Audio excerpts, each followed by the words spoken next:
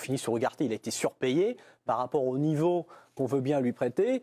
Et c'est pas un top joueur, voilà. Il arrive du Sporting Portugal, ça aurait été un joueur de complément dans un effectif. Mais là, à 60 millions, vous imaginez que c'est quand même euh, normalement un taulier de votre milieu de terrain. Et après 4-5 mois, on, on, a, on, a, vu ses limites. Il a, il a, des qualités, mais on voit ses limites. Encore une fois, moi, je, je, je juge le, le Paris Saint-Germain par rapport à son objectif ultime, c'est-à-dire la Ligue des Champions. Et quand je regarde euh, les joueurs recrutés, et le, le cas Ugarte est un meilleur exemple. Je ne sais pas si c'est ce genre de joueurs-là qui vont aider le Paris Saint-Germain à gagner la Ligue des Champions. Voilà. Alors, le PSG serait sur un milieu de terrain, mais qui coûte très très cher. Ça, ce sont les ah. bruits qui viennent du, du, Brésil. Les rumeurs des médias brésiliens aujourd'hui, c'est que Bruno Guimaraes intéresserait fortement le Paris Saint-Germain, qui serait prêt à mettre le pactole sur lui. Il faudrait mettre un sacré pactole d'ailleurs, parce qu'Eddie Howe a dit en conférence de presse qu'il voulait le conserver et que ça coûterait 116 millions d'euros, tout simplement, au Paris Saint-Germain de s'attacher les services du Brésilien. Donc on va de se Newcastle. On va se calmer, effectivement. Mais Anthony, vous, vous me dites tout va bien. Il manque personne. Pas de milieu, pas de défenseur. Non, mais justement, ça va un peu dans la lignée de ce que dit Arnaud, c'est que le, le, PSG a déjà empilé pas mal de joueurs. Moi, quand je vois, par exemple, euh, devant euh, Colomboigny et Gonzalo Ramos, euh, qui sont achetés des fortunes mm. et qui peuvent pas jouer ensemble, donc ça veut dire que forcément, vous mettez des joueurs sur le banc qui ont coûté 80 millions d'euros. Et c'est pas. Bah là, en l'occurrence, parfois, il y en a aucun des deux qui joue. Et des fois, il y en a aucun des deux. Et de la même façon, Beraldo, si vous l'achetez 20 millions d'euros, c'est pas pour le faire jouer en 2028. Il doit être capable de dépanner, ne serait-ce qu'en Ligue 1, où le PSG me semble avoir une marge nécessaire pour, pouvoir, euh, pour pouvoir voir venir. Donc il n'y a que le prisme de l'argent en fait. -dire, mais le non, PSG pas peut se permettre de mettre un mec même à 80 de, millions. Mais même de la gestion de l'effectif. Même de la gestion de l'effectif, à un moment donné, il y a aussi. Non, mais ok, on s'en fout de l'argent. Tant que ça met pas le club en difficulté. Je sais S'ils veulent acheter 80 millions d'euros parce qu'ils ont. On s'en fout de l'argent. On nous a parlé du fair play financier pendant un moment, mais. Mais Loïc, ils sont pas en difficulté. Loïc, juste par rapport notamment aux attaquants on s'en fout de l'argent si vous voulez. Mais en, en l'occurrence, ce n'est pas un neuf qui joue neuf aujourd'hui. C'est quand même euh, surprenant. Non, mais la cohérence, vous la trouvez s'il y a moins de joueurs voilà. aussi. Et à un moment donné, vous pouvez aussi trouver des solutions avec euh, des schémas tactiques différents. Par exemple, il y a moins de milieux. Et ben, on peut, on peut utiliser, par exemple, comme il a joué en, en 4-2-4 avec des ailiers. Euh, Les ailiers, il en, il en, a plein. Il a aussi des attaquants. Ah bah ça, le, euh, coach, non, mais Luis Enrique oui. peut trouver des solutions au sein de cet effectif. Je pense que cet effectif-là, oui. si vous prenez les valides, euh, il fait pas peine. Et euh, il doit être capable de passer euh, la Real Sociedad en huitième et euh, d'assurer les affaires courantes en Ligue 1. Et derrière, c'est pareil, il pourra aussi trouver des, des, solutions, par exemple avec Lucas Hernandez qui peut passer dans l'axe, ouais. quand Nuno Mendes revient. Bah, Solaire, Solaire latéral droit, Zahir Emery, latéral droit. Ce qui m'inquiète, c'est de toujours... Solaire. Euh, trouver ouais. la solution du mercato, on va acheter, on va mettre 30 millions, on va mettre oui, 40 alors millions. qu'il la trouve rarement. Et on se retrouve à. Et voilà, finalement, c'est pas vraiment des solutions. On se retrouve avec des poids morts qui ont coûté une fortune, alors que très souvent, il peut y avoir des solutions intéressantes. Et Lucien Enrique me semble pas être le plus mauvais entraîneur pour trouver des solutions tactiques aussi. C'est pas une question de prix, c'est une question de qualité, en fait. Là, oui, je veux dire, moi, le, des joueurs, ok, je suis d'accord avec toi, Ougarté, ils ont peut-être payé un peu trop. Euh, trop cher, pas un peu, la mais la problématique, c'est la qualité du joueur. C'est-à-dire quand tu, tu prends un joueur en début de saison, euh, c'est pour qu'il t'apporte une valeur ajoutée. Et que la valeur ajoutée s'ajoute à la valeur ajoutée, ça te, tu finis par avoir une super équipe. Sauf que le Paris Saint-Germain, je mets l'aspect financier de côté, et va, la valeur ajoutée de, de, de, tous les joueurs, parce qu'il y a eu Garté, mais il y en a d'autres, on la voit pas vraiment. Elle n'est pas énorme. Et, et imaginez que ces joueurs-là, offensivement au moins, allaient faire oublier en un claquement de doigts, même s'il y a un nouveau projet, même si on prend des jeunes, même si on prend des Français, euh, Neymar, Messi. Oui. Ah bah, ils font enfin, ça, c'était impossible. Avec toutes leurs limites. C'était impossible, ça. Oui. C'est-à-dire qu'ils sont déjà en huitième de finale, s'ils se font sortir, ils auront fait pire. Ils vont être champions de France. Tu prends les... Non, mais je suis d'accord avec toi. Si tu prends d'un point de vue collectif, mais si tu prends d'un point de vue individuel, les ah oui, statistiques bon, des uns et des autres, c'est un naufrage. Bien sûr, mais Fred, de, toute, euh, de toute façon, Neymar et Messi ne sont pas remplaçables. Mais bref, on va continuer à, à avancer.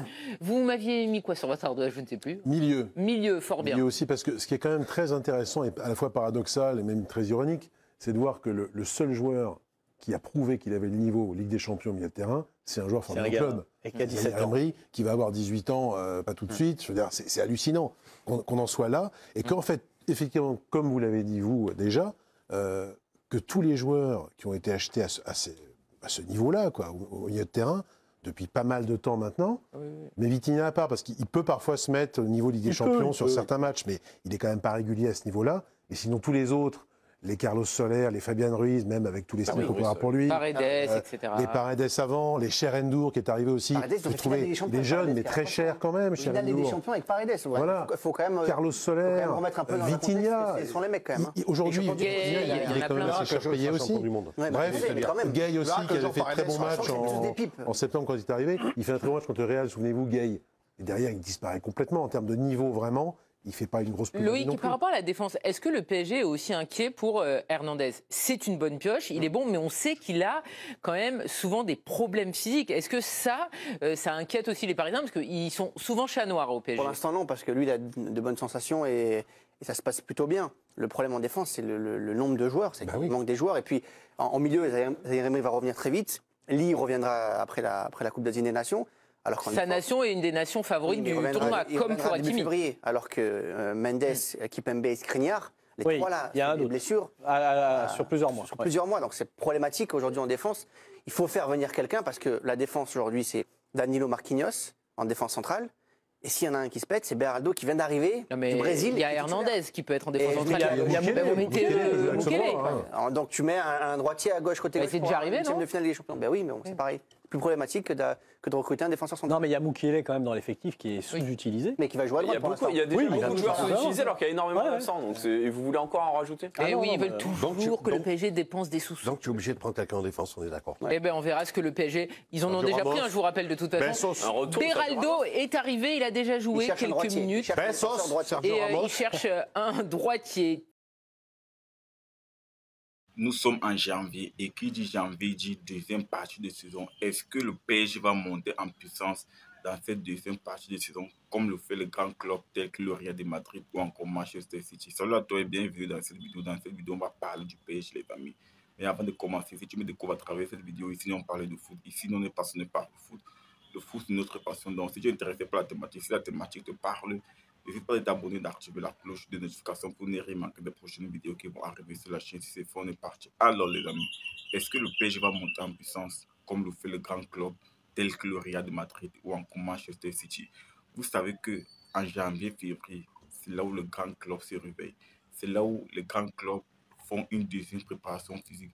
C'est là où le grand club monte clairement en puissance. Est-ce que ce PSG va s'aligner dans la catégorie de ces grands clubs-là Déjà, il faut savoir que Luis Enrique, il a promis du changement. Il a dit que son équipe sera meilleure en deuxième partie de saison. Est-ce que vous voyez ce PSG-là être meilleur en deuxième partie de saison? Personnellement, moi, je ne pense pas trop. Je ne pense pas trop parce que lorsque j'ai vu le match, le match des trophées des champions contre Toulouse, il y avait des lacunes. Le PSG a dégagé des séries lacunes, les amis. Des séries lacunes. Je me dis, est-ce que Luis Enrique va y arriver? Surtout que Surtout que le PSG, ils ont beaucoup de blessés, beaucoup de blessés, beaucoup d'absents. Tu as Kimpembe qui est blessé, tu as Mendes. En plus de cela, Skriniar s'est ajouté. Et tu as Hakimi qui est parti à la canne. Au milieu, tu as Enze Emery qui est incertain. Bref, il y a vraiment des absents dans ce PSG. Ce PSG-là ne dégage pas de la sérénité. Après, les amis, après, Luis Enrique, c'est un tacticien, c'est un grand tacticien. Partout là où il est passé, il a produit du beau jeu. Il a toujours su s'adapter à l'effectif qu'il avait. Souvenez-vous de la sélection de l'Espagne. Personnellement, moi, je ne pensais pas que l'Espagne devait aller en demi-finale d'une compétition européenne. Luis Enrique a transformé cette équipe d'Espagne avec une équipe moyenne, pour ne pas dire vraiment mauvaise. Parce que lorsque tu regardes cette équipe d'Espagne, il y avait qui là? Ce n'était pas la grande équipe d'Espagne de David Villa, Fernando Torres. Hein. Il avait une équipe très jeune mais il a réussi à faire des choses incroyables avec cette équipe d'Espagne. Donc je me dis, si on laisse Luis Enrique travailler dans la continuité, je me dis qu'il peut faire des choses incroyables avec le PSG. Après, ce ne sera pas facile. Ça ne sera pas facile parce qu'on sait que le PSG, le PSG n'est pas indulgent souvent avec ses coachs. Le PSG n'est pas indulgent avec ses entraîneurs. Est-ce qu'ils vont laisser Luis Enrique bosser jusqu'au fond, jusqu'au bout de son contrat? Généralement, moi, je ne pense pas. Ce sont les résultats qui vont dicter. Parce que si Luis Enrique se fait éliminer par la Real Sociedad, je ne pense pas que Nasser va laisser Luis Enrique en poste, même s'il a dit que le résultat cette année importe très peu. Ce n'est pas moi qui le dis, c'est Nasser qui l'a dit. Les dirigeants du PSG l'ont dit, ils ont dit que le résultat importait très peu, qu'ils ne sont pas, sont pas focus sur le résultat cette saison. Est-ce qu'on peut le croire? Est-ce qu'on peut croire les dirigeants du PSG, sachant que leur obsession, c'est la Ligue des Champions, se voient éliminés par la Real Sociedad en huitième de finale? Est-ce qu'ils vont laisser Luis Enrique? Moi j'ai un doute, moi j'ai vraiment un doute. Autant si tu sors face au Real, face au Bayern, peut-être peut-être qu'on pourra te laisser, mais je ne pense pas que si Luis Enrique sort face à la Real Sociedad, les dirigeants vont vraiment le laisser. Luis Enrique a travaillé dans les grands clubs, donc il connaît la formule, il sait ce qu'il faut faire pour que son équipe monte en puissance en deuxième partie de saison. Le Real de Madrid est très fort pour ça. Le Real est très fort pour ça. Le Real, souvent, en première partie de saison, c'est très moyen, pour ne pas dire catastrophique. Mais en deuxième partie de saison, c'est une machine de guerre. C'est une machine de guerre en deuxième partie de saison, le Real de Madrid. Je ne sais pas ce qu'ils font, je ne sais pas ce qu'ils mangent, je ne sais pas ce qu'ils pratiquent. Mais en deuxième partie de saison, ce Real-là est souvent monstrueux. Ils sont souvent monstrueux. C'est comme ça que le Real de Zidane a remporté trois LDC, trois Ligues des Champions. Parce qu'en deuxième partie de saison, c'était un autre visage, c'était un autre Real de Madrid. C'était vraiment un autre Real de Madrid. Donc, lui, c'est Rick qui a travaillé dans les grands clubs. Il sait comment ça fonctionne. Il sait comment les grands clubs là font pour monter en puissance en deuxième partie de saison. Et j'espère qu'il va savoir inculquer cette mentalité au PSG, les amis. Parce que le PSG a vraiment besoin. Le PSG fait l'inverse des grands clubs. Pendant que les grands clubs montent en puissance en deuxième partie de saison, c'est là où le PSG s'effondre en deuxième partie de saison. Donc, j'espère qu'il va vraiment booster ses jeux pendant cette deuxième partie de saison pour qu'il retrouve vraiment un nouveau incroyable. Après, partage-moi ton ressenti en commentaire. Est-ce que tu crois vraiment en ce PSG Est-ce que tu penses que ce PSG peut monter en puissance? Dis-moi toi si ce n'est pas encore fait. N'hésite pas à t'abonner, d'activer la cloche de notification pour ne rien manquer des prochaines vidéos. Ce sont se dit à très bientôt pour notre vidéo, les amis. Ciao, ciao